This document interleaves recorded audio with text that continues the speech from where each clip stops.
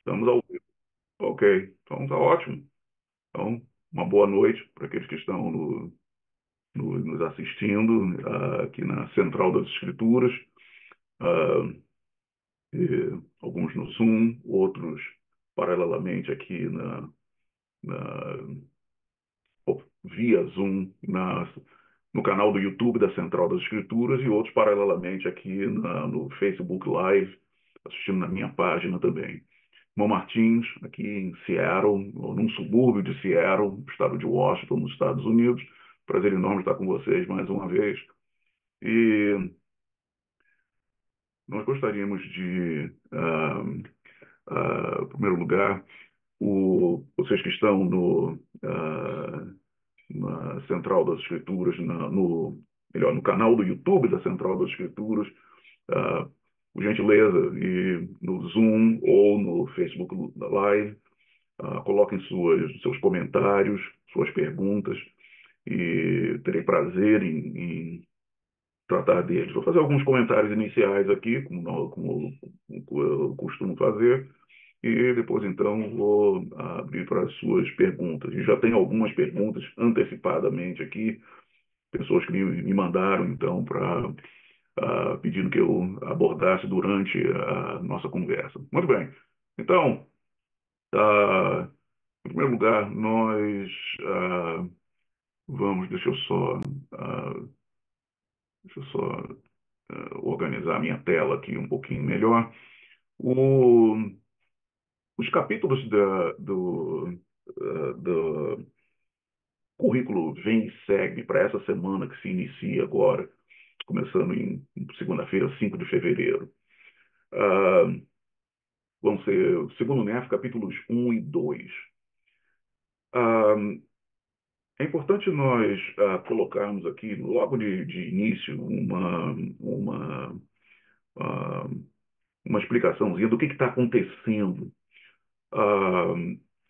já tivemos, então, no livro de primeiro NEF, toda esse resumo que Neff fez do que aconteceu com a família dele, as visões que o pai dele teve, Leí ou Lerre, para o pessoal que é antigo na igreja, do, da edição antiga do livro de Mormon, uh, visões, revelações uh, que Neff também recebeu, confirmando as visões, os ensinamentos do pai dele.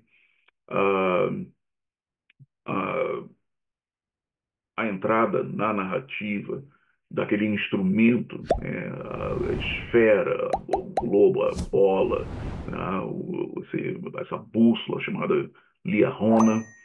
E o nome Liahona nós vamos encontrar posteriormente no livro de Mormon, lá em Alma, capítulo 37. É que nós vamos ver o nome Liahona, isso já 500 anos depois, um pouco mais de 500 anos depois. E a travessia do oceano, a construção do navio, a, a travessia do oceano e as coisas que ocorreram lá, e várias profecias relacionadas à dispersão e coligação de Israel. Esses são alguns dos temas que estavam lá em 1 Nefre. Ah, e lembrando a vocês, especialmente aqueles que estão assistindo minha live pela primeira vez, que eu não abordo todos os assuntos, todos os detalhes aqui, apenas faço algumas observações sobre alguns pontos, mas uh, convido todos a assistirem vídeos ou lerem os blogs de irmãos e irmãs uh, na Central das Escrituras, que vão tratar de vários, vários assuntos doutrinários uh, de, de, grande valor para todos nós. Uh, mas, mais uma vez, eu lembrar, eu sei, Martinha, você fala isso toda semana, mas eu tenho que falar toda semana, porque sempre tem gente que ainda não assistiu minhas lives antes. Não deixem de ter a sua experiência pessoal, sua experiência pessoal com as escrituras, sob a influência do poder do Espírito Santo. Tá? As lives, os blogs, os podcasts não vão substituir o seu estudo pessoal. Eles vão apenas enriquecer, tá? prover mais detalhes para justamente uh, trazer uma experiência ainda mais enriquecedora tá? espiritualmente enriquecedora para todos nós. Muito bem. Segundo Nefe, capítulos 1 e 2, nós temos aqui então as palavras de Lei ou Lerre. Palavras essas que são de um homem que está prestes já a ser transferido, como eu costumo dizer, transferido tá, para aquela missão que não termina em dois anos. Tá?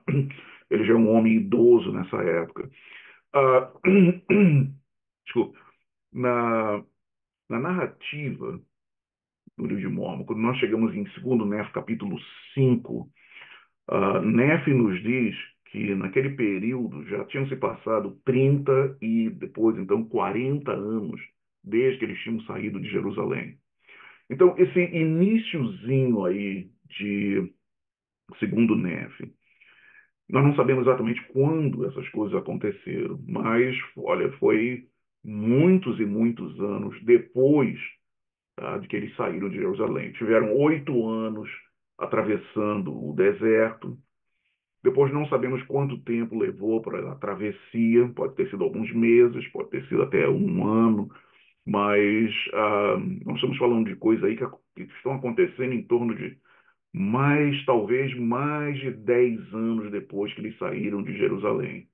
Então, Lei, ou Lerre agora, sente que isso, olha, está chegando a minha hora de, sabe, sair fora, sair de cena. E nessa hora, nós temos então Nefe dando, nos dando um relato de alguns ensinamentos do pai dele. Ele fala para Lamã e Lemuel, depois fala especificamente para Jacó.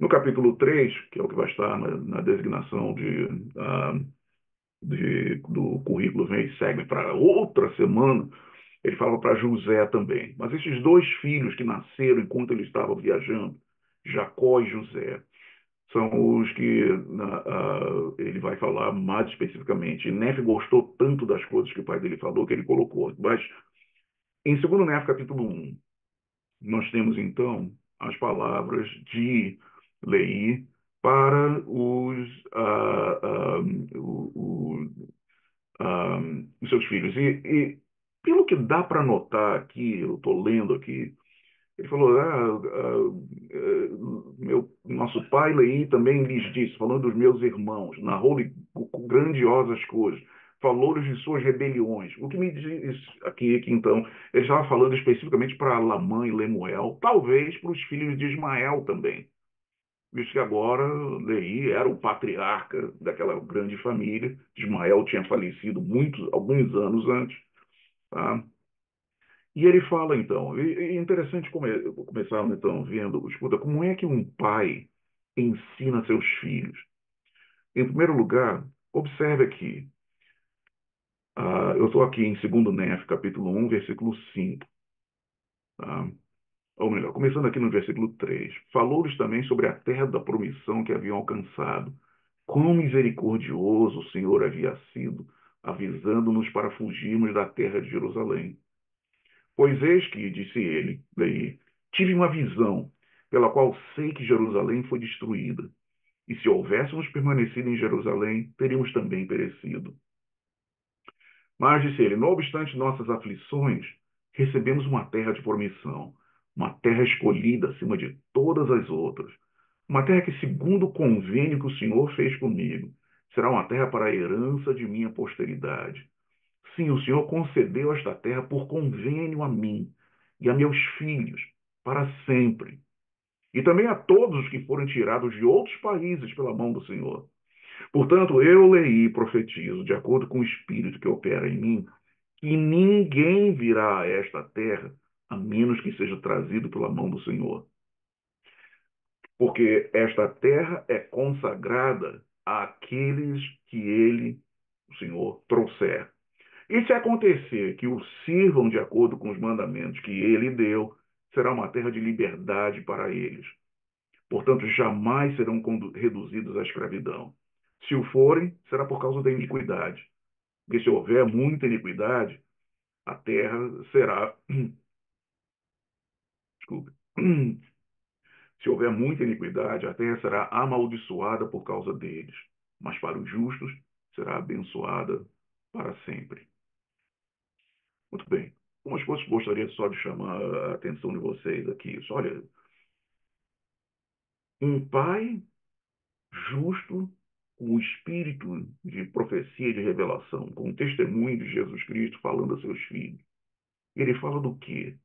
Ele fala das bênçãos que eles receberam. Ele está ajudando os filhos dele, aparentemente aqui os filhos mais velhos, que são os mais rebeldes, que eram a mãe e Lemuel, pelo que dá a entender aqui. Que ele fala das rebeliões deles. Ele fala, olha, observe a misericórdia de Deus. E ele fala, olha, essas coisas que aconteceram não foi coincidência, foi a mão do Senhor. E ele os lembra, desculpa, ok, melhor. E ele os lembra também dos convênios, os convênios do Senhor, convênios que o Senhor fez com ele, com Lei, mas vemos também que nas próprias palavras de Nefe, tá? e nas palavras que o próprio Lei uh, uh, proferiu, ele lembra dos convênios que o Senhor fez com Abraão, Isaac e Jacó. Então, pais, mães, avós, avós, quando ensinarmos nossos filhos, quando ensinarmos nossos netos, vamos ajudá-los a reconhecer as bênçãos de Deus nas nossas vidas e ajudá-los a lembrarem-se dos convênios do Senhor. Olha, lembra que lá, quando Nefe teve aquela grande visão do futuro, ah, aqueles videoclipes celestiais que ele assistiu sobre o futuro do mundo? Quando o, o, o anjo que o estava ministrando fala sobre o registro dos judeus, que é a, nós chamamos de Bíblia hoje em dia, ele fala que muitas partes claras e preciosas tinham sido retiradas do livro. E muitos dos convênios do Senhor, ele, ele fala também. Para o inimigo, para o adversário, uma das coisas mais importantes para ele era embaralhar o texto das Escrituras, da Bíblia, no caso, e tirar de lá o conhecimento dos convênios de Deus. Interessante. E aqui vemos, então, Lei como patriarca de sua, de sua posteridade, patriarca presidente de sua posteridade, lembrando seus filhos dos convênios. O Senhor conceder essa terra por convênio, a mim e a meus filhos para sempre, e também a todos que forem tirados de outros países pela mão do Senhor. Então, o, eu acho que nós temos aqui um padrão, um modelo. Lembra que eu já falei para vocês aqui, olha, não fiquem tão focados na história em si, mas sempre pergunte, o que que essa história que eu estou lendo aqui diz a meu respeito? O que que isso tem a ver comigo? Como é que eu posso usar essa história como um modelo para coisas que estão acontecendo ou que vão acontecer na minha própria vida. E para mim aqui, eu que sou um avô hoje, que estou, sei lá, talvez em menos de 10 anos, possivelmente deverei ser um bisavô, quem sabe daqui a uns 5, 7 anos deverei ser um bisavô. Estou vendo aqui, é, lembrar dos convênios, lembrar meus filhos, lembrar meus netos da misericórdia de Deus das bênçãos de Deus. Eu, eu tenho feito isso nos últimos anos. Tenho feito isso. Uh, converso com meu filho Felipe, um dia vai assistir esses vídeos aqui, e lembro a ele, sempre lembro a ele das coisas que o Senhor está fazendo na minha vida. E digo para eles: olha, essas bênçãos podem ser suas também. O Senhor pode abençoar você também da mesma forma. Eu lembro a ele coisas que estão na bênção patriarcal dele. Eu tenho uma cópia da bênção patriarcal dele, então eu lembro a ele das coisas que estão lá.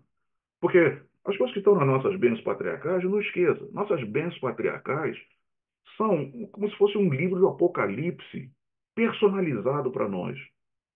Então, o que estão ali são promessas do Senhor.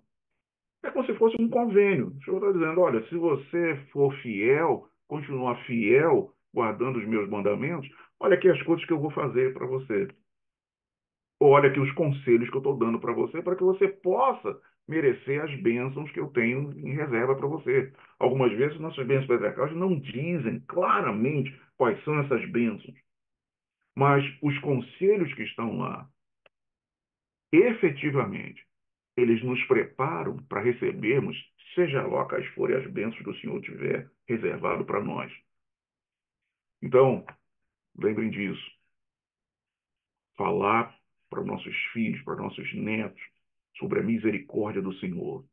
Ajudá-los a reconhecer as bênçãos de Deus nas nossas vidas e lembrá-los dos convênios que o Senhor fez com Abraão, Isaac e Jacó e que fez conosco também, através das promessas que estão na nossa bênção patriarcal, através das coisas que nós aprendemos na casa do Senhor promessas da, na casa do Senhor, que nós não vamos falar em detalhes nas nossas casas, mas que nós vamos estar sempre prestando nosso testemunho para eles. Olha, quando vocês forem na casa do Senhor, vocês vão ver a maravilha que, que as maravilhas que o Senhor tem reservado para mim e para vocês também.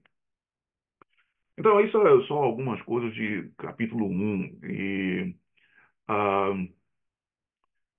eu não quero entrar em todos os detalhes aqui das coisas que Lei fala sobre o futuro, que eu gostaria de tratar, uh, levar um pouco de tempo falando da, do testemunho dele tá, sobre as, a queda de Adão e Eva e a expiação de Jesus Cristo. E por isso que eu dei o, o título da minha, uh, da minha live de hoje de uh, Fundamentos da Eternidade. Fundamentos da eternidade. E aonde eu ah, então nos lembro da, da, das coisas verdades eternas arbítrio oposição queda a expiação de Jesus Cristo. Ah, talvez uma das coisas que ah, muitas pessoas tenham dificuldade de, de compreender seja justamente isso de que isso olha existe um plano. Deus, nosso Pai, tem um plano para seus filhos e filhas. E esse plano inclui certas verdades eternas, verdades que não mudam. Inclui também o dom do arbítrio individual, o arbítrio. Inclui também oposição em todas as coisas inclui a queda de Adão e Eva, com todos os seus efeitos, tá? todos os seus efeitos, e a expiação de Jesus Cristo, com todos os seus efeitos também. Esses são, são princípios ou elementos fundamentais da eternidade. Para se obter salvação, para se estar na presença de Deus, o Pai, para todo sempre, com corpos de carne e ossos, imortais, perfeitos, glorificados, nós precisamos de todos esses elementos: verdades, arbítrio, oposição, queda e expiação. Isso, ah, meus irmãos, nos ajuda tremendamente a nós a vivermos essa vida.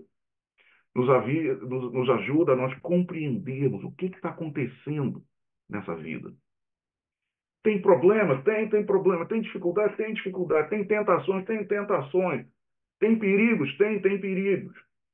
Tem alegrias? Tem, tem alegrias. Tem diversão? Tem diversão. Tem comida? Tem bebida? Tem esportes? Tem ah, ah, ah, relacionamentos amorosos, familiares ou amistosos, o que, que for, todas essas coisas. Tudo isso parte integral parte integral do plano de salvação, que o profeta Alma, 500 e tantos anos depois de Ness, chamou de um grande plano de felicidade. O plano do nosso Pai Celestial, um grande plano de felicidade. Tá? Então, uma vez que nós eh, chegamos então em 2 Nef capítulo 2, Leí está falando para Jacó, Tá? Jacó, filho que dele nasceu na, durante aquele período dele no, de, no, deserto, e que ele chama de meu primogênito no deserto. Tá? E Jacó, nessa época, já, provavelmente já, já deve ser um homem adulto.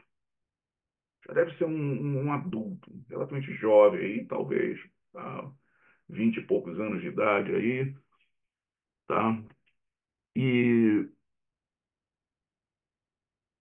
nós observamos aqui que Jacó também já era, nessa época, um vidente. Uh, Lei diz aqui, uh, segundo Nef, capítulo 2, versículo 4, contemplaste a sua glória em tua mocidade.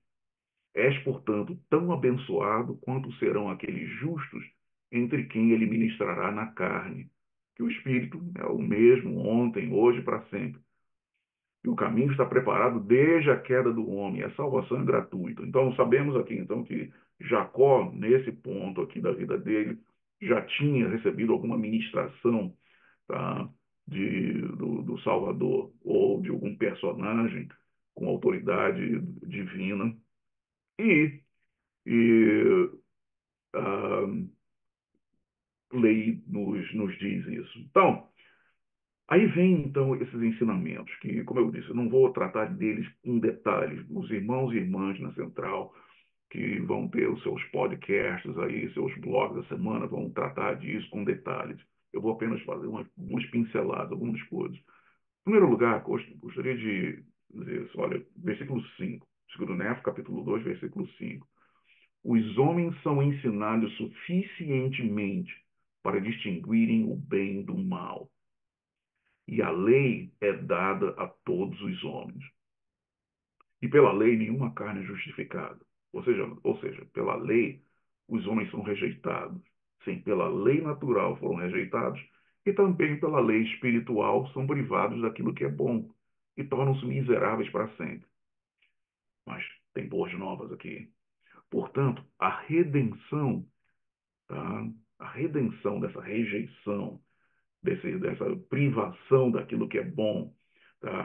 a nossa a libertação dessa miséria, assim, a redenção nos vem por intermédio do Santo Messias, porque ele é cheio de graça e verdade.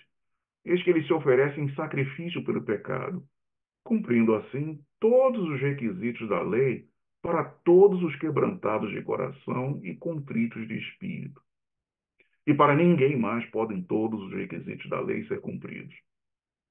Portanto, quão importante é tornar essas coisas conhecidas dos habitantes da terra, para que saibam que nenhuma carne pode habitar na presença de Deus, a menos que seja por meio dos méritos e misericórdia e graça do Santo Messias, que dá a sua vida, segundo a carne, e toma-a novamente pelo poder do Espírito, para poder efetuar a ressurreição dos mortos sendo ele o primeiro a ressuscitar.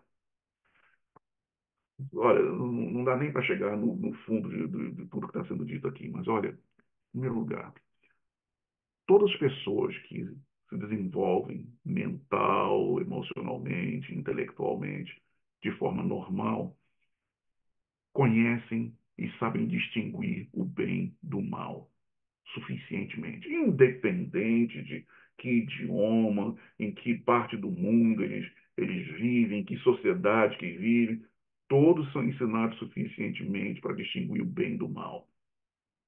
Tá? E Lei fala aqui tá? de uma lei natural e também uma lei espiritual. Interessante, lei natural e lei espiritual. É, tem as leis da natureza, por causa da queda de Adão e Eva, essas leis da natureza são leis decaídas.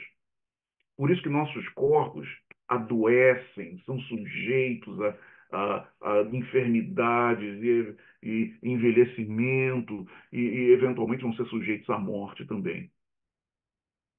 São rejeitados daquilo que é bom. E também a lei espiritual, as leis divinas. Tá? Porque, como houve uma queda, como houve uma transgressão de Adão e Eva, nós herdamos aquela condenação que nos priva de estar na presença de nosso Pai Celestial. Mas, todas essas coisas, como Lei diz aqui, então, tá? ah,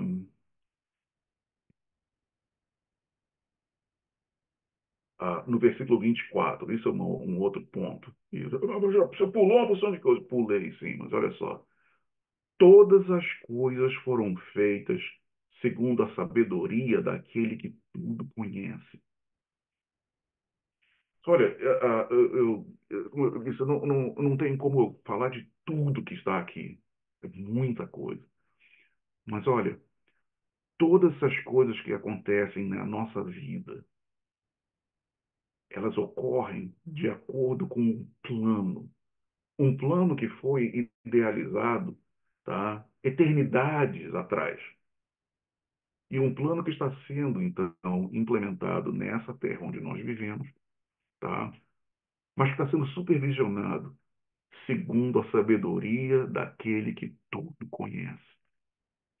Essas palavras simples, como estão aqui, devem nos trazer bastante conforto. Bastante conforto. Seja em que situação nós tivemos, em circunstâncias nós tivemos nas nossas vidas. Tudo está acontecendo, está acontecendo de acordo com a sabedoria daquele que tudo conhece. Então, herdamos sim os efeitos da queda de Adão e Eva, herdamos. Herdamos a morte física, herdamos a morte espiritual, que é o afastamento da presença de Deus. Não podemos estar na presença de nosso Pai Celestial face a face, tá? Ah, e por isso só podemos falar com Ele por meio de oração. Para que possamos falar com Ele face a face, as pessoas têm que ser transfiguradas, têm que ser temporariamente transformadas da mortalidade em, em seres imortais, temporariamente para poder falar com Ele face a face. Isso é uma coisa que nós aprendemos lá em Pérola de Grande Valor, Moisés, capítulo 1. Moisés falou: Não, não foram meus olhos naturais, meus olhos espirituais. Se eu não tivesse sido transfigurado, eu teria, ele diz, Moisés diz, eu teria fenecido e morrido, tinha virado churrasquinho na presença dele, por causa do poder dele. Então, Lei fala aqui, então, sobre verdades que existem, leis que existem, tá? naturais e espirituais. E são eternos, imutáveis, não podem ser modificados. E aí, então, fala então sobre a nossa existência aqui, em que nós ah, temos o arbítrio, tá? a habilidade, a capacidade, o privilégio de escolher. Tá? Então,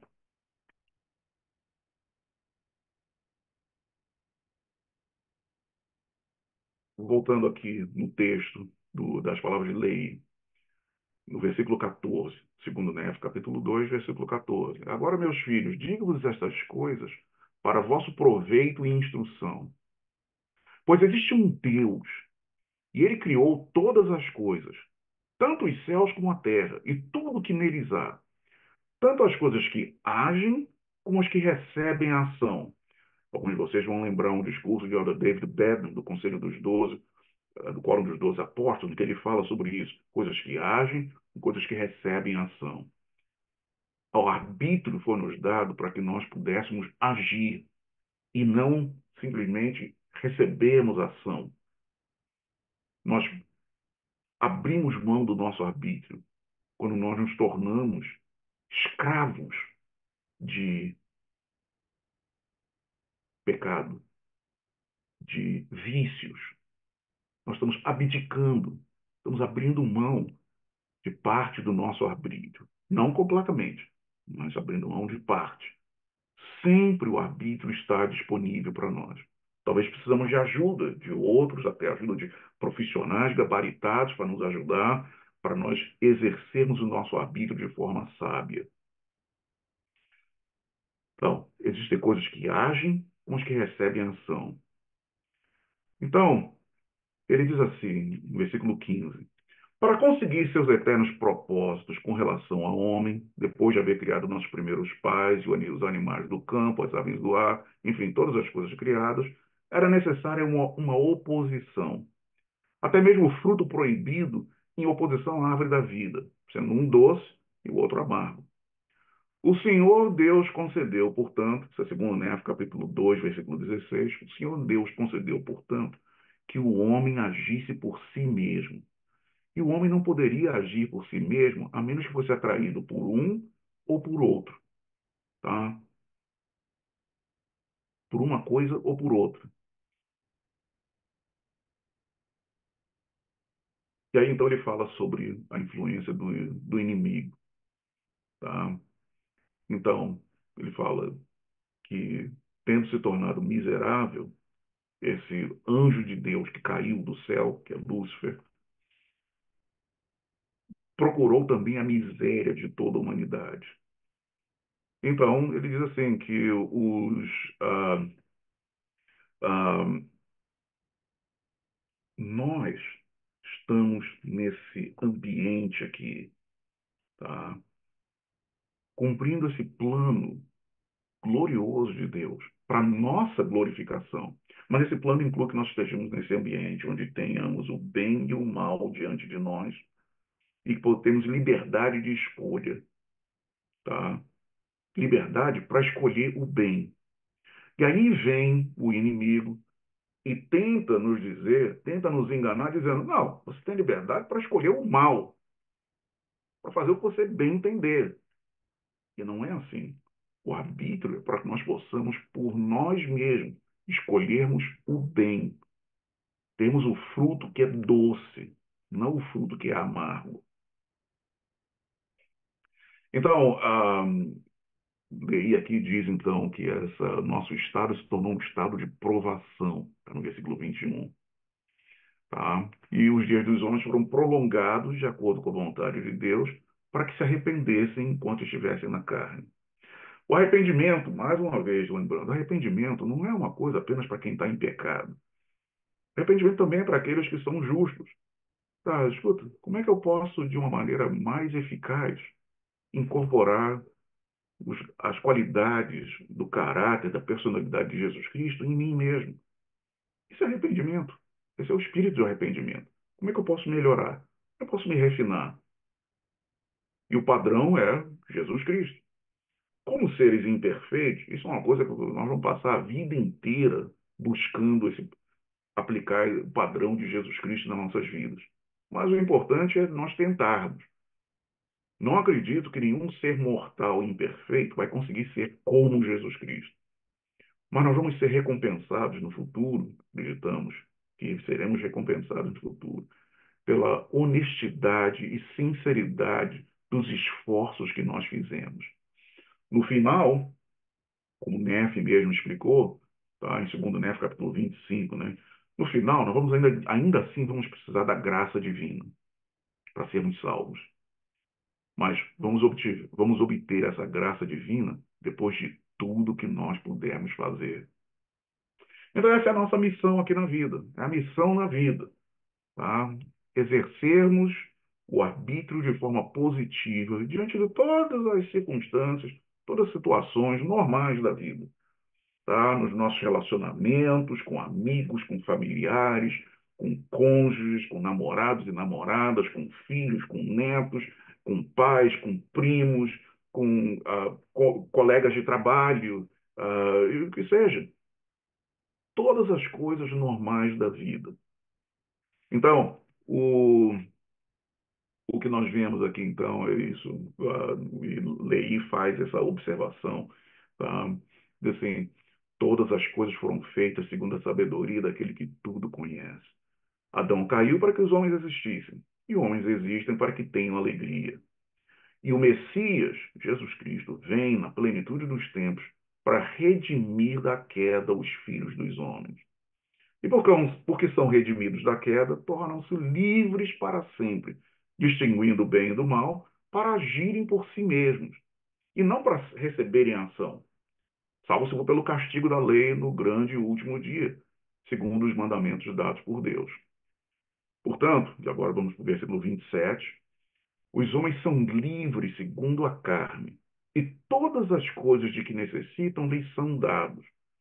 E são livres para escolher a liberdade e a vida eterna por meio do grande mediador de todos os homens, ou para escolherem o cativeiro e a morte de acordo com o cativeiro e o poder do diabo, pois ele procura tornar todos os homens tão miseráveis como ele próprio. Bom, Lei agora tem que dar um conselho, né? E ele dá o um conselho aqui. Agora, meus filhos. Interessante. Ele começou falando para Jacó, mas agora aqui ele já está em meus filhos. E assim que foi traduzido. Meus filhos. Ele está lá no original inglês. Significa que os outros deviam estar ouvindo. Ele estava falando para Jacó, mas agora eu vou abrir aqui para todo mundo. Agora, meus filhos, gostaria que confiasseis no grande mediador, Jesus Cristo, e desseis ouvidos a seus grandes mandamentos, e que fosseis fiéis às suas palavras, e escolhesseis a vida eterna, conforme a vontade do seu Santo Espírito. Que não escolhesseis a morte eterna, conforme a vontade da carne, e o mal que nela há, que dá ao espírito do diabo poder para escravizar, para levar-vos ao inferno, a fim de reinar sobre vós em seu próprio reino. Disse-vos essas poucas palavras, meus filhos, nos últimos dias de minha aprovação. E eu escolhi a boa parte, de acordo com as palavras do profeta. E não tenho outro objetivo que não seja o eterno bem-estar de vossa alma. Amém. Maravilha, belíssimo isso daqui. Uma coisa que nós podemos também uh, observar aqui, só veja só, ele não fala que ah, escolhesses a morte eterna de acordo conforme a vontade da carne do mal. Ele não fala de acordo com a vontade do diabo. Ele falou conforme a vontade da carne e o mal que nela há. Portanto, não lembrando que por causa da queda de Adão e Eva, esses corpos que nós temos aqui, esses corpos, têm em si desejos, apetites e paixões as mais variadas possíveis. Tá? Esses cérebros aqui têm a capacidade de fazer uma porção de coisas. O Senhor nos deu certas leis, certos mandamentos para governar, para nos ajudar a governar, nós governarmos os nossos corpos e não sermos governados por eles. Fomos criados para agir e não para receber a ação. Fomos criados para governar nossos corpos e não sermos governados pelos nossos desejos, apetites e paixões. Veja bem, o diabo ele é culpado de insurreição. O diabo não nos dá desejos, apetites e paixões. Eles estão aqui nos nossos corpos. Esses desejos, apetites e paixões são normais dos nossos corpos. O que o diabo diz é: olha, vai lá, não sei, tudo bem, vai lá, pode fazer, vai, vai.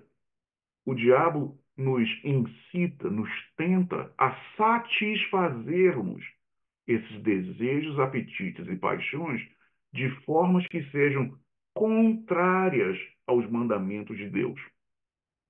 Isso que o diabo faz. O diabo não nos dá desejos, apetites e paixões. Tá?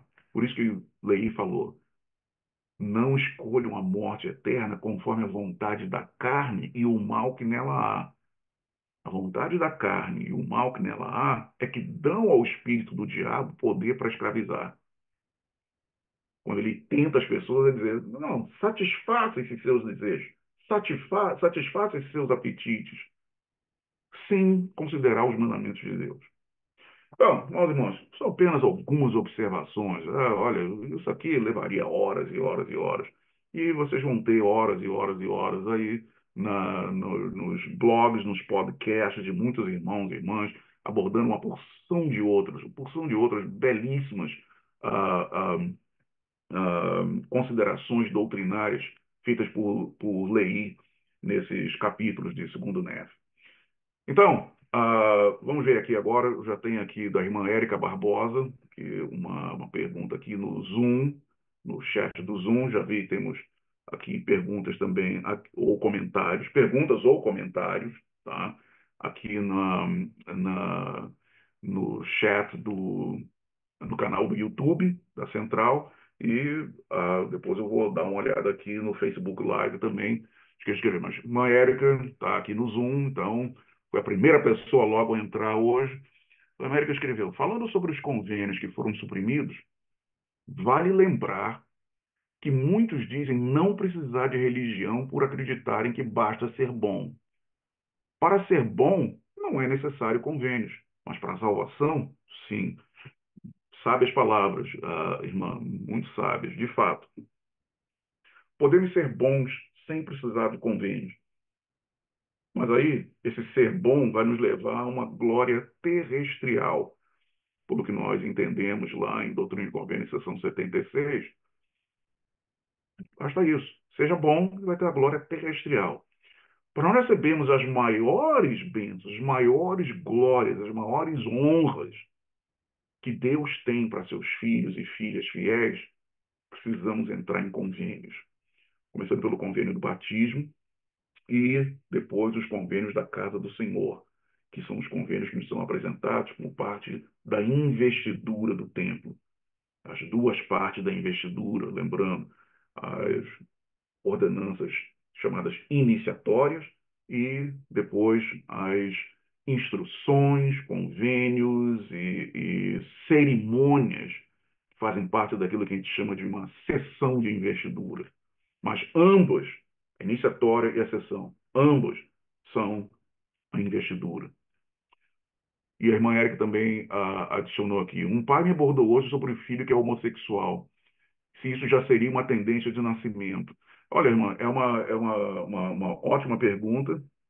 E o que a primeira presidência, o Quórum dos Doze, escreveram, na, ou aprovaram que fosse escrito uh, na, no Manual Geral, é a, a, posição oficial da igreja, que é, olha, ah, deixa, deixa eu ler, justamente para não, não, não faltar nada aqui, eu não quero. Uh, uh, eu não quero falar nada que seja incorreto aqui um, no capítulo 38.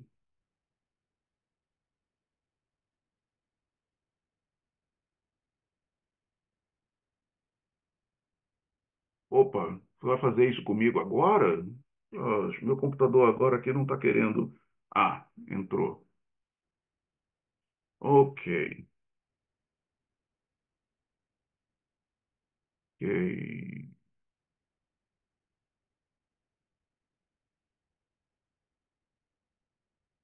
probleminha aqui que eu, ele está demorando para entrar no, onde eu estou querendo. Ok. Olha aqui, isso, Manual Geral e, uh, da Igreja, edição 2020, item 38.6.15. Item 38.6.15.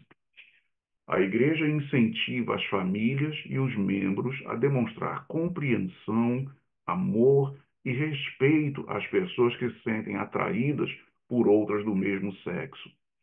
A igreja também promove a compreensão da sociedade em geral, de maneira que reflita seus ensinamentos sobre bondade, inclusão, amor pelos outros e respeito por todos os seres humanos.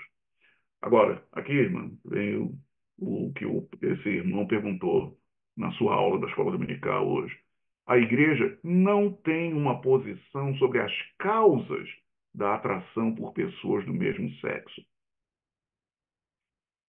E aí, mais adiante, tá no pulando um parágrafo aqui, sentir atração por pessoas do mesmo sexo não é pecado.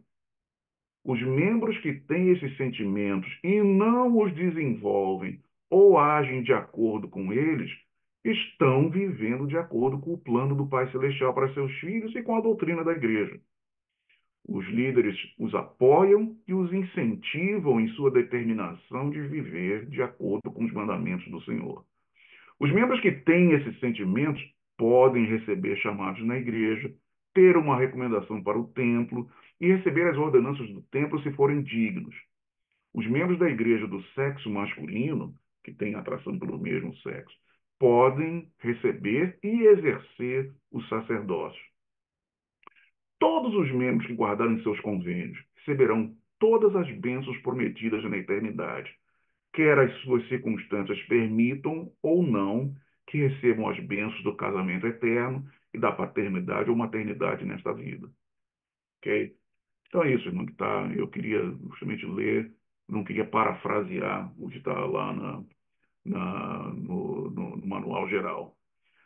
Então, agora, eu tenho aqui uma pergunta que foi feita uh, pelo irmão uh, Camilo Miranda, tá? E ele me fez essa pergunta essa madrugada, eu li hoje de manhã, mas estava na hora de eu ir para a igreja. Só eu vou responder durante a live. Ele está fazendo auditorias agora Então ele vai assistir depois. Então ele escreveu aqui. Flávio Martins, saudações do irmão Miranda. Sobre o seu apontamento com respeito às ordenanças de casamento eterno, selamento para a eternidade realizado nos templos, de que eu, eu, teria, eu disse que os cônjuges não são selados um ao outro, mas sim selado, são selados sobre eles as bênçãos prometidas. Em contrapartida, a diferença que existe nas ordenanças realizadas para os filhos e filhas, sendo eles filhos e filhas, nesse caso, sim, eles sim, selados diretamente aos seus pais, ao pai e à mãe. Claro que sabemos que casamentos para a eternidade, realizados nos templos, são condicionados à fidelidade dos cônjuges, a todos os convênios feitos com Deus e a seu cônjuge. Gostaria de saber sua opinião sobre o assunto e, se possível, discorrer mais a respeito desse tema. Muito obrigado pelo seu precioso tempo. Olha, irmão, eu, ah, eu, lembrando agora da pergunta que você fez no áudio que você me mandou horas atrás, e lendo agora, ah, talvez fosse ideal você dar uma olhada num dos meus vídeos sobre, sobre esse assunto, sobre selamentos. Mas, essencialmente, sim, prestando atenção cuidadosamente nas palavras das ordenanças, que eu não vou repetir aqui, lógico, tá? Nós entendemos então que, de fato, as crianças são seladas ao pai e à mãe, mas os cônjuges não são selados um ao outro, eles são pronunciados, pronunciados, marido e esposa, pela autoridade do sacerdócio. O que, que significa, isso é que eu tenho dito, significa que a decisão quanto à duração desse relacionamento depende não da ordenança do selamento, mas depende do exercício do arbítrio pelo marido e pela esposa, individualmente e como casal. Essa sim é a, é é a verdade da coisa. Um, um, um homem e uma mulher poderiam ser, teoricamente, selados tá? casados no templo 50, 70, 100 vezes. E ainda assim não seriam um, um casal para a eternidade. Se o casamento deles fosse um casamento ruim, um relacionamento ruim, um relacionamento tóxico, onde não há respeito, onde não há amor. Tá? Então, o exercício do arbítrio, a aplicação da doutrina de Cristo nesse relacionamento entre marido e esposa. Isso sim é que vai determinar a duração desse casamento. Se vai ser um relacionamento eterno ou não. O casamento foi feito pela autoridade do sacerdócio. Então, nós usamos o termo, ah, foi selado, foi selado. Não é errado, tá?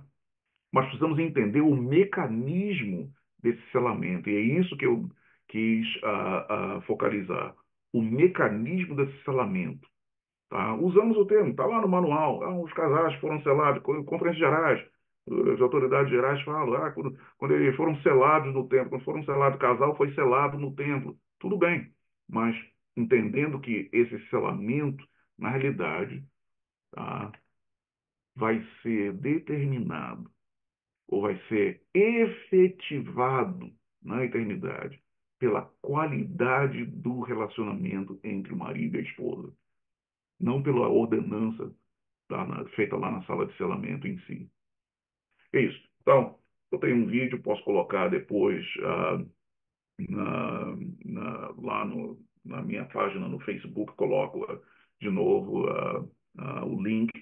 Está no meu canal do YouTube, eu vou mandar para você também, irmão Miranda. Obrigado pela sua pergunta. Mas é só para poupar o tempo. Isso tem meia hora de explicação para chegar nisso daí, mas eu, eu, eu, vou deixar você assistir o vídeo e depois terei prazer de responder outras perguntas. Mas muito obrigado pelo seu contato hoje.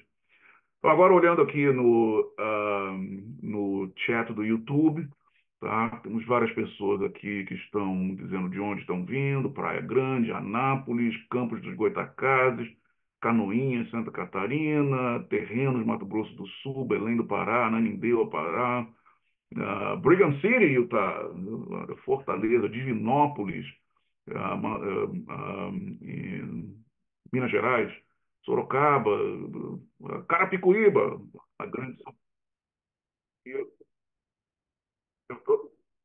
Peraí, peraí, eu tô... Oi, peraí, peraí, peraí. Pulei alguma pergunta? Ah, ok. Obrigado, irmão. Irmão Valfrido, que está lá em Minneapolis, tá? E ele estou aqui que eu pulei. Obrigado. Irmã Cristiane Ferrari. Muito obrigado, irmão Valfrido. A criação e a expiação são eternos. E a queda? Ah, ótima pergunta. Ah, irmã, puxa, uma pergunta técnica aqui. Ah, puxa vida. Ok. Vamos voltar lá. Vamos voltar lá em lei. Vamos voltar lá em lei. Tá?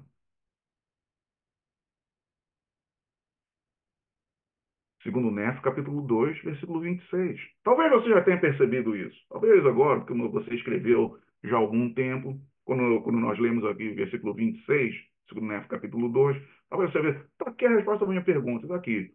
O Messias vem na plenitude dos tempos para redimir da queda os filhos dos homens. E porque são redimidos da queda, tornaram-se livres para sempre, distinguindo o bem do mal, para agirem por si mesmos e não para receberem ação, salvo, ou exceto se for pelo castigo da lei no grande último dia, segundo os mandamentos dados por Deus. Então, irmã, por causa de Jesus Cristo, criação, a expiação, eterna criação. A Terra vai existir para sempre. Doutrina Convênio, seção 88. É, a Terra vai morrer, mas vai ser ressuscitada, vai receber a glória celestial. A expiação, infinita. O poder da expiação de Cristo é infinito. A queda, não. Os efeitos da queda, os efeitos da queda, tá? São eliminados, extintos por meio da expiação de Jesus Cristo. Por isso que nós chamamos ele de redentor. Ele nos redimiu da queda. Mas, não, a gente está morrendo ainda. Eu sei. Nem todos os efeitos da queda foram retirados.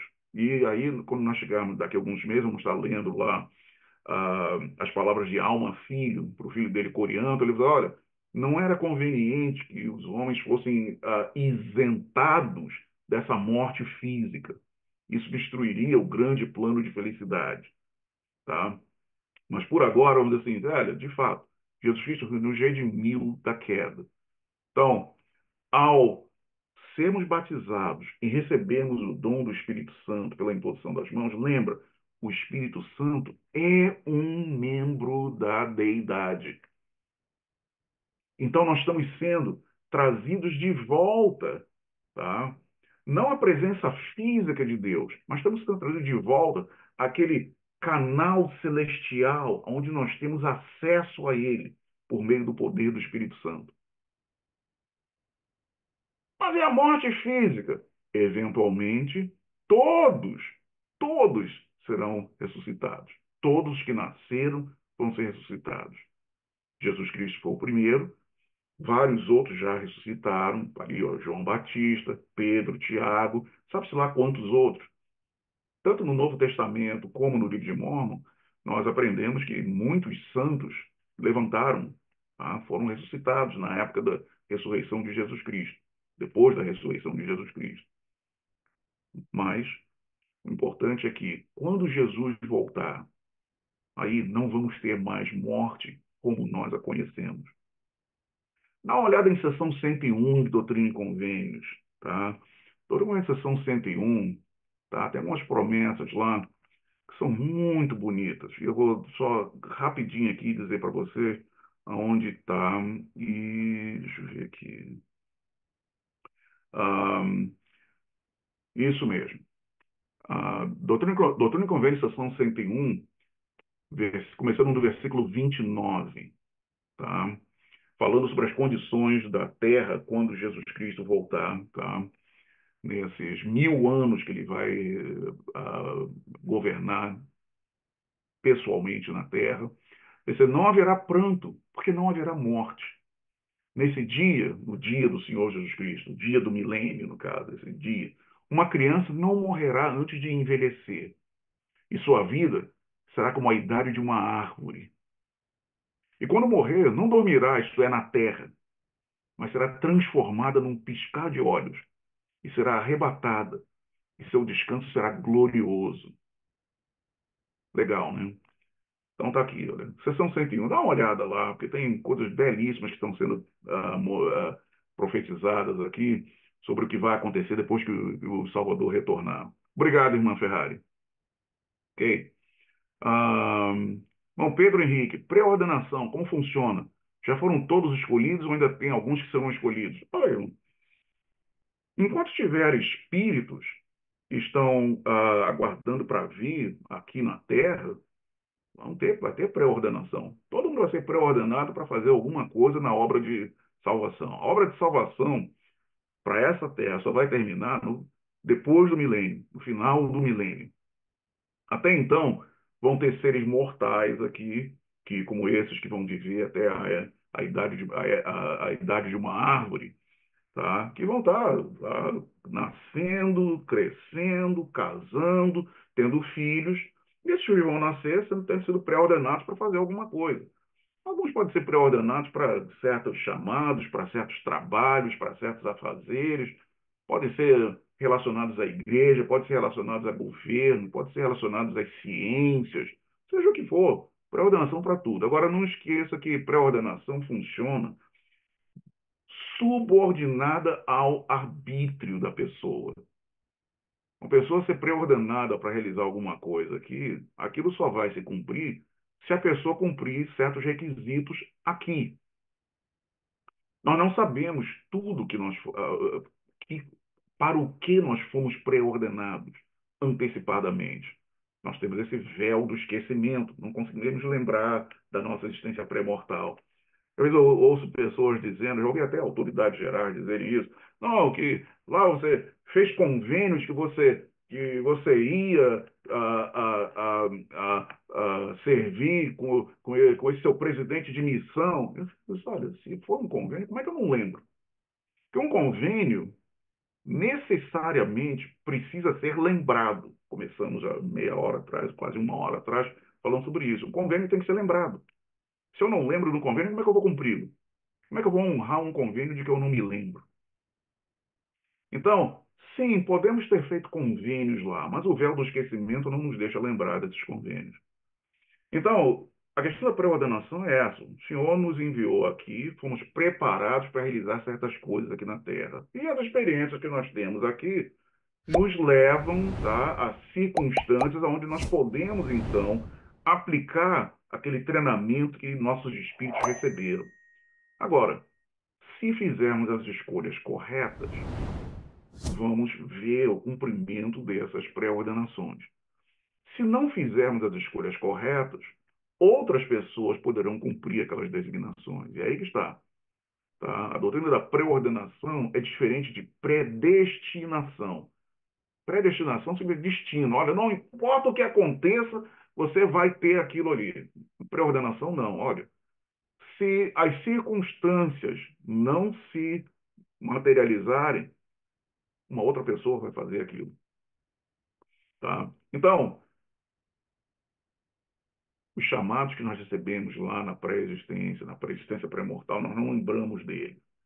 Tá? Coisas podem ocorrer aqui na Terra, tá? que poderão fazer certos, necessitar certos ajustes.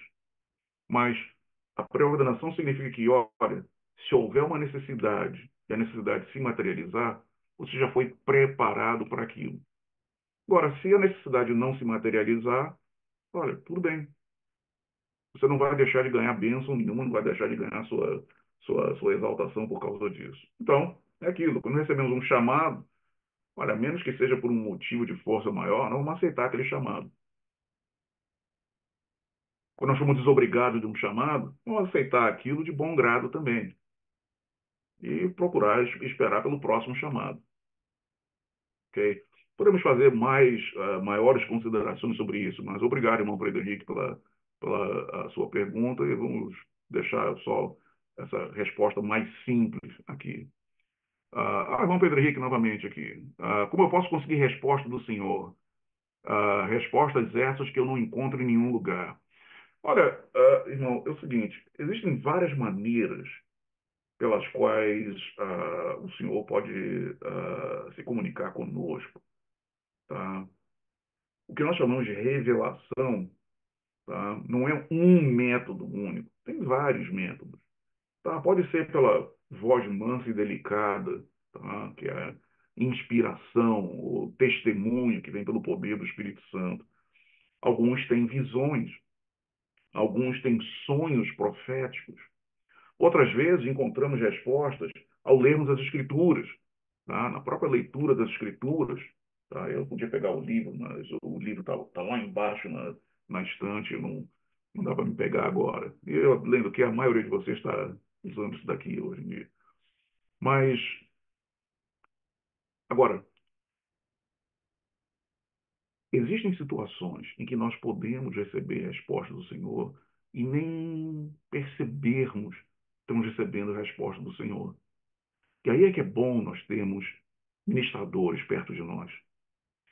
Quando o Senhor dá uma revelação, geralmente, geralmente, ele vai seguir a lei das testemunhas, que é aquela lei antiga que diz pela, pela boca de duas ou três testemunhas será estabelecida a veracidade de um fato. Isso vem desde, desde o Velho Testamento da Bíblia. Então, dependendo da, do assunto, se for uma coisa muito pessoal sua, tá? Uh, eu sugiro que você fale com seus irmãos ministradores e explique para eles o que é que você está querendo saber do Senhor. E conte para eles o que, que você já aprendeu sobre o assunto, o que, que você já, quais foram as coisas que você já ponderou sobre o assunto.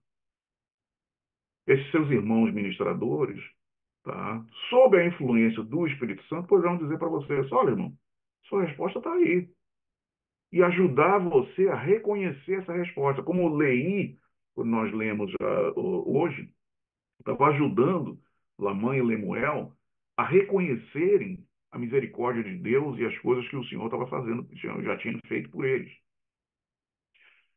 Talvez seja um assunto tão pessoal e confidencial, coisa assim, olha, eu não gostaria que meus irmãos ministradores soubessem disso. Então, nesse caso, procure seu bispo. Olha com seu bispo.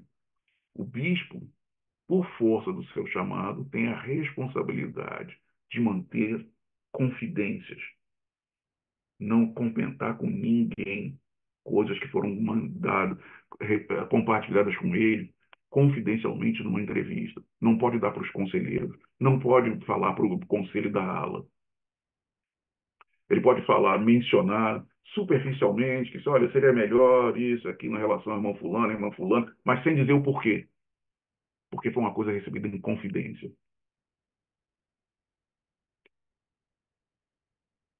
os irmãos ministradores têm a responsabilidade de, de, de reportar as conversas que eles tiveram. Os bispos não têm isso. Pelo contrário, a responsabilidade deles é de não contar as coisas, não reportar.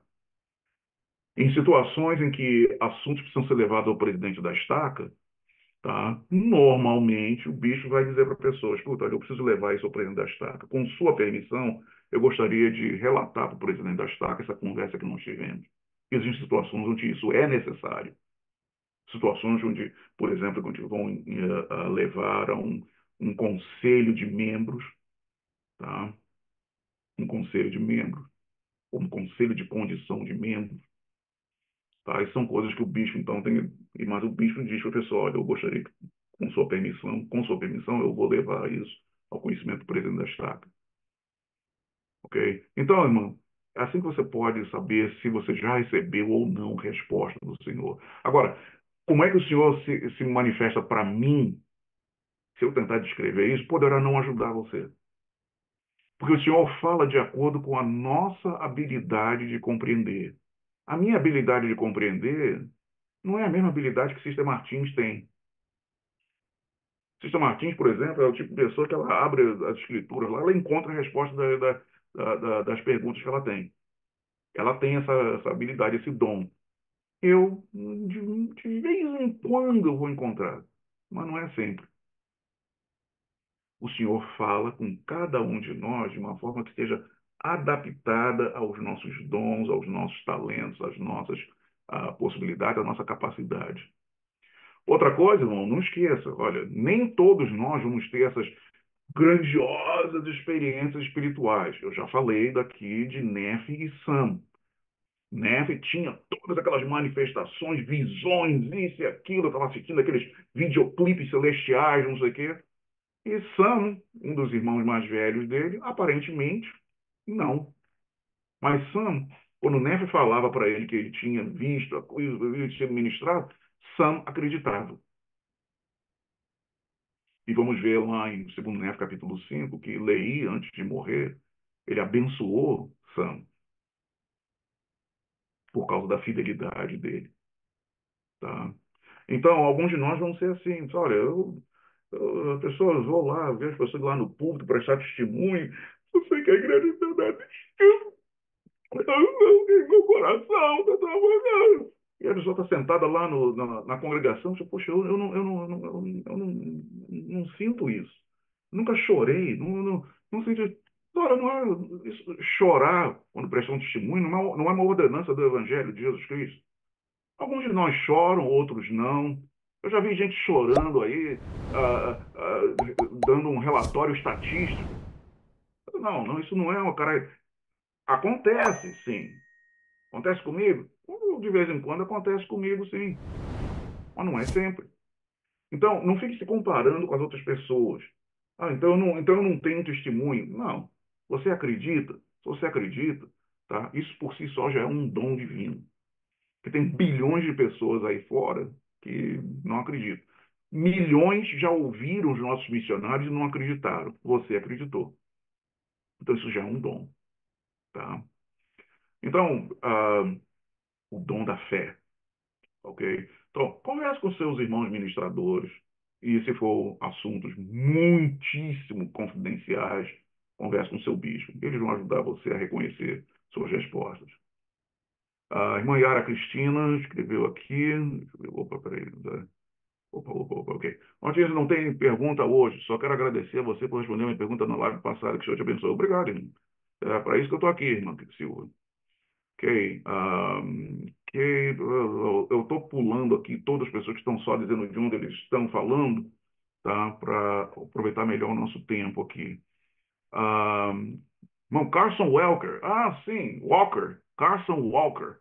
Lá em Brigham City. Pergunta, quem é o profeta mencionado em 2 Nef 2.30? 2 Nef capítulo versículo 30. Deixa eu voltar lá. Livro de Mormon, 2 Nef capítulo 2, versículo 30. Ah, diz de acordo com as palavras do profeta. Ah, olha, uma boa pergunta. Escuta, eu... Ah, escolhi a boa parte de acordo com as palavras do profeta, o que Lei falou. Ele não, ele não diz exatamente aqui qual profeta. Agora, lembre, qual era o livro de escrituras que Lei tinha à disposição dele? Tá? Eram as placas de latão. Então, ele tinha as placas de latão, onde tinha lá o, o Velho Testamento da Bíblia até Jeremias. Que não esqueça, Jeremias era o seria, vamos dizer assim, profeta presidente na época de Lei e Nefe. Tá? E quando Lei leu as placas de latão, ele viu que algumas das profecias de Jeremias estavam registradas na, nas placas. Fico imaginando se talvez se era, foi Zoran que escreveu, na, fico imaginando isso, mas isso é especulação. Isso é especulação, só especulação. ok? Agora, qual era o profeta especificamente que ele falou, que ele mesmo, eu falei da melhor parte. Olha, todos os profetas testificaram de Jesus Cristo. Ele realmente ele estava citando, ou estava citando ah, o entendimento dele do, de, de, Moisés, ou de Isaías, ou de Zenos, ou Enoque. São profetas que foram, vão ser mencionados posteriormente. Tá? Aliás, Nefe já tinha mencionado, em 1 Nefe, capítulo 19, Nefe já tinha mencionado esses dois profetas da antiguidade, Zenos e Zenoque. E pelo que Nefe tinha citado, eram profecias bem específicas, falando sobre que Cristo ia ser crucificado e que iam ter três dias de trevas. Não está no Velho Testamento da Bíblia, porque esses livros de Zenos e Zenoque foram perdidos. Então, certamente, Leí estava se referindo a algum desses profetas que ele tinha lido nas placas de latão, mas ele não diz aqui qual desses profetas, então nós não vamos também a especular. Mas obrigado, irmão Walker, pela sua pergunta. Ok, então temos aqui gente aqui em Lagarto, em Sergipe, em Barcarena, no Pará, Lisboa, Portugal. Ah, as Codimas estão aqui, Sara e Rebeca Codima. Ah, lá, irmão Martins. Eu também gostaria de ver o vídeo sobre o selamento das famílias do irmão. Arigatou gozaimasu. Ok, tudo bem. Então, os Kodima estão lá em Toyohashi, no Japão. Um bom dia para vocês, tá? É um konnichiwa para vocês aí. Eu vou mandar depois. Eu mando para sua mãe, tá? Vou mandar para sua mãe o link da para esse vídeo. Irmão uh, Jefferson Ferreira. Eu amo o Evangelho, mas minha esposa é da Assembleia. Tem alguma escritura para me ajudar? Tem, irmão. É o livro de Mormon. Agora, irmão, você ama o Evangelho restaurado de Jesus Cristo. Sua esposa ama a Assembleia. Pergunta é: você ama sua esposa? Então, continue amando a sua esposa. Coloque em prática tudo que você tem aprendido na igreja. Fale para ela das coisas que você tem aprendido na igreja. Fale para ela da sua expectativa com relação à eternidade do seu casamento. Sempre fale para ela disso e faça com que o seu casamento tá, seja uma coisa belíssima, seu relacionamento com ela seja belíssimo. Ela perguntar, poxa, você é tão bom para mim, só é o que eu, eu quero, eu quero que você seja minha esposa para toda a eternidade. Eu quero um dia poder entrar num templo, tá? e ser unido a você para toda a eternidade, com seu marido para todo sempre, que esse é o plano de Deus. E ela vai ficar, mas, mas isso não está na Bíblia, isso não está na Bíblia. E aí deixa o Espírito Santo operar na mente, no coração dela. Mas faça com que ela tenha o desejo de ter você como marido dela para todo sempre. Nesse meio tempo, Apoie ela aí na Assembleia, deixa ela na Assembleia, não, não reclame, não, não, não fique criticando a Bíblia e mostrando que na Bíblia que isso, aquilo. Não, olha, irmão, a escritura que vai ajudar a sua esposa é você. O sermão é o sermão da sua vida, é o sermão do seu comportamento. Tá? A melhor maneira de ajudar um cônjuge que não pertence à Igreja de Jesus Cristo dos Santos Últimos Dias. É mostrar para esse cônjuge quão bom seria ter você como cônjuge dele ou dela para toda a eternidade. Que eles vão dizer, poxa, eu gostaria de ter meu marido, eu gostaria de ter minha esposa para toda a eternidade. Mas só essa igreja de Jesus Cristo dos Santos Últimos Dias sequer prega isso. A igreja nem prega isso nem acredita que isso existe. Será que eu estou disposto a largar minha igreja para poder entrar para essa igreja de Jesus Cristo dos Santos Últimos Dias e ter meu marido, ter minha esposa para toda a eternidade? Deixa eles pensar. Aí o Espírito Santo toma conta da coisa. Então, irmão, melhor escritura nesse momento é você, sua vida, seu comportamento, em casa, no trabalho, nos esportes, seja onde for suas orações, tá? E o resto deixa na mão do Senhor. Eventualmente, quando sua esposa estiver naquele ponto de que ela está, sabe, o barro mais, mais maleável na mão do oleiro, do oleiro, que é o Senhor, aí você vai dar o livro de Mormon para ela. Olha, não vai dar, não, porque já tem em casa, né? Ela vai, ela vai pegar o livro de Mormon e vai querer ler. Ok? Obrigado pela sua pergunta, irmão Ferreira. O Martins Júnior, como o irmão descreve o cenário do 1 Nef 1639? O Deus do Velho Testamento se mostra a mãe Lemuel também, ou foi um anjo que representava a deidade? Olha, irmão, uh, de fato, uh, não esqueça que lá, quando eles foram em Jerusalém, os irmãos, quatro irmãos foram em Jerusalém uh, conseguir as placas de latão, uh, Lamã e Lemuel se rebelaram, estavam batendo em Nef e Sam. E Nef diz que um anjo apareceu para eles e repreendê-lo, a mãe Lemuel. Então, ali eles viram um anjo. Tá? Agora, se teve outras ocasiões, nesse registro que nós temos, não esqueça, nós estamos lendo agora são as placas menores de Nefe.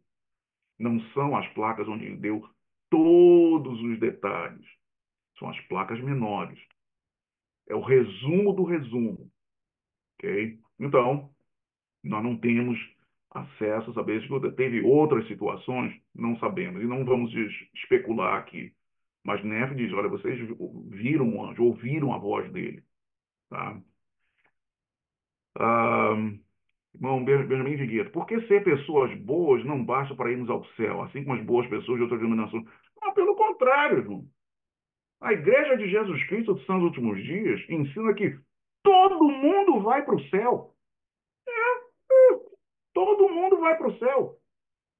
Agora, só que nós entendemos, doutrina e convenção 76, que existem vários céus. Existem vários céus. Todos são céus. O céu celestial, o céu terrestrial e o céu celestial. E as pessoas vão, de acordo com o que nós lemos sessão 88, as pessoas vão para o céu no qual elas vão se sentir mais confortáveis, no qual elas vão estar felizes, tá? Então aqui, sessão, deixa eu dar aqui, uh, assim, a sessão 8, Doutrina e Convênio, sessão 88, um, um, começando no versículo uh, 28.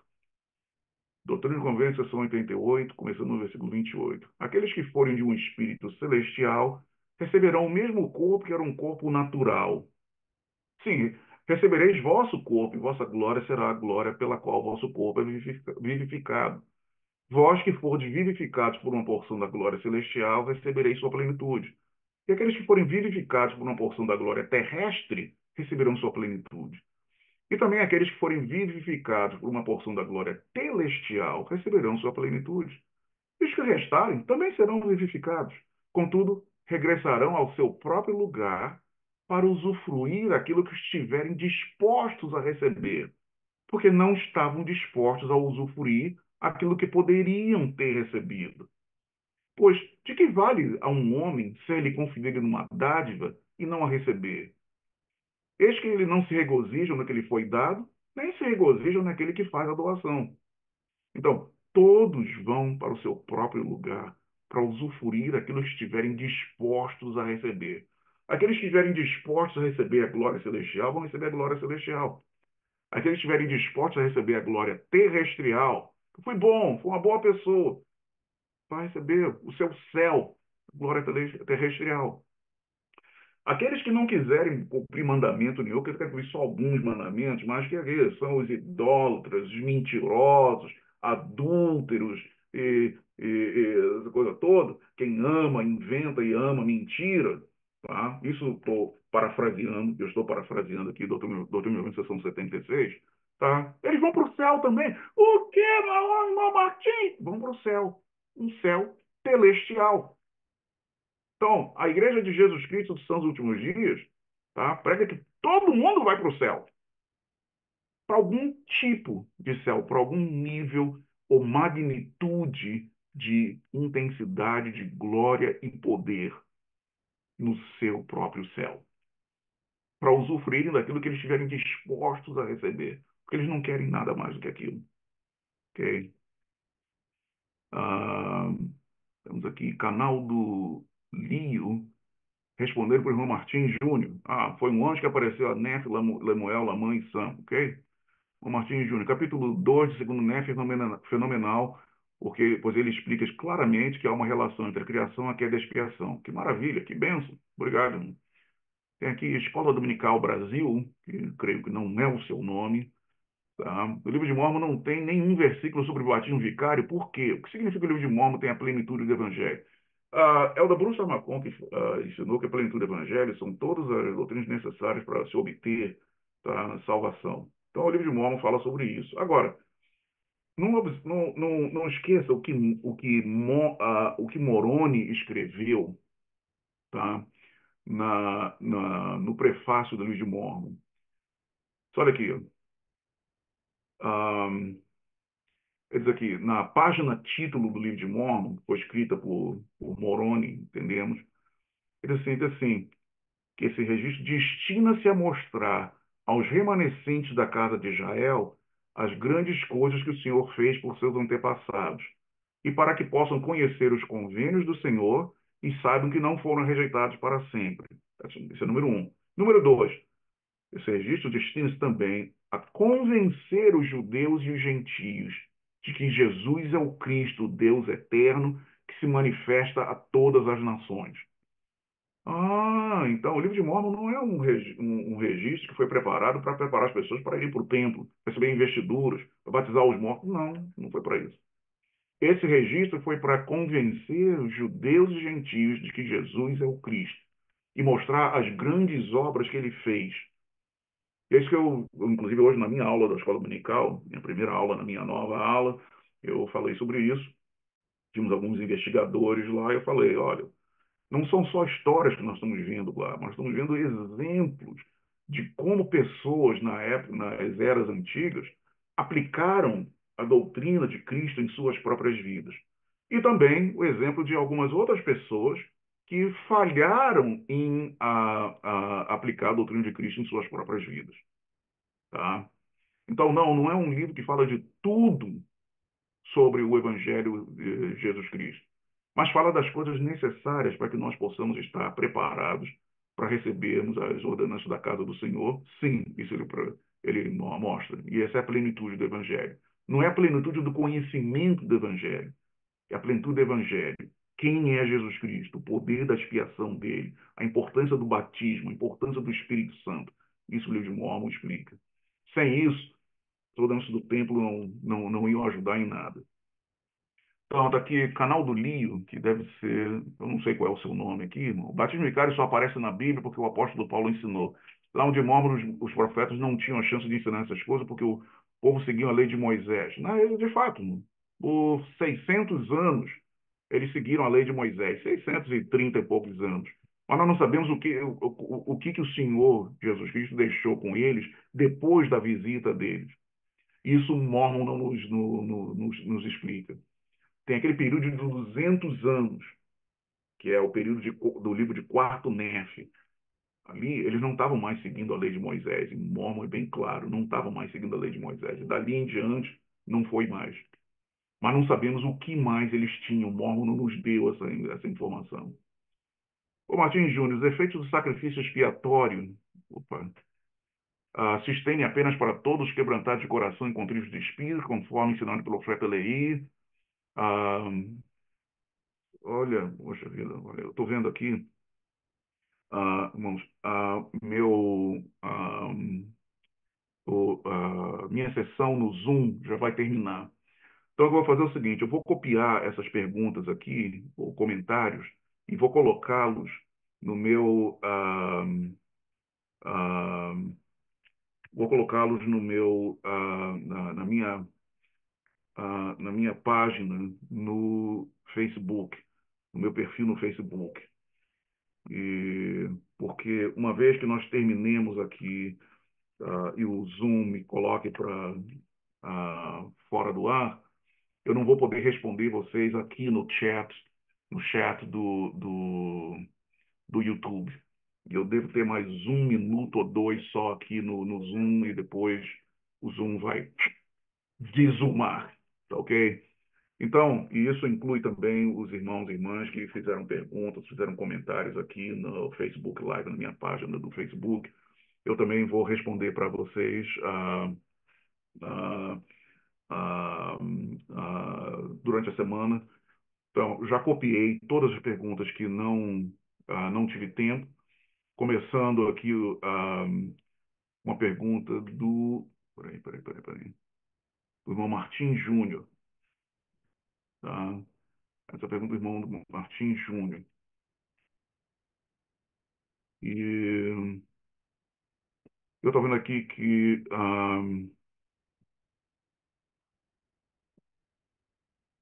é, vendo aqui que alguns, como irmão, ah, esse irmão do canal do Lio aqui, também responderam algumas das perguntas, mas eu creio que vocês vão querer ouvir a minha resposta. Mas obrigado, irmão, por ter participado. Obrigado por ter participado, fazendo seus comentários também. Ok? E. Ah, só um instantinho aqui. aqui ó. Tem alguém aí? Anybody home? Hey! Oh. How are you guys? No, he's just welcomed us. Uh, olha quem chegou aqui. ó. oh, never mind. Hey, what? Never mind what. Oh. Say hi. There are Hi. people watching here. Yeah. Sei aqui. Olha quem veio jantar aqui comigo hoje. Okay. They can't see it. Hey, yeah, you get to see here. Okay. Hey, Jay. Hello. Oh. Ah, aqui, eu vou jantar. O povo com quem eu vou jantar agora aí. Ah, Tá bom. Tá ok. I'm just about done here. Okay. Give me just uh, Sorry. two minutes here. No, no, no, no, no, sorry. That's fine. Glad to see all of you. How do you like my house now? I like it. Yeah, it's better with furniture, right?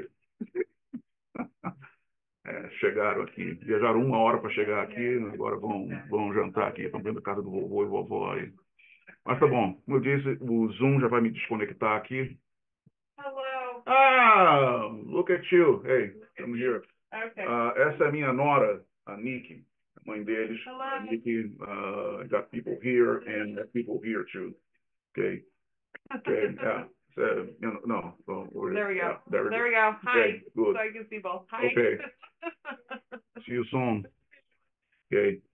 Ah, Flávio não veio, meu filho. Ele, ele é conselheiro de uma presença de destaque agora, então tem reuniões hoje, então não, não, pôde, não pôde vir, mas eles vieram aí. Mas, ah, tudo bem, como eu disse, já peguei todas as perguntas aqui. Ah, e, mais uma vez, obrigado pela participação de vocês. Muito bom, ótimos. Várias perguntas que eu estou olhando aqui, muito bom. Ah,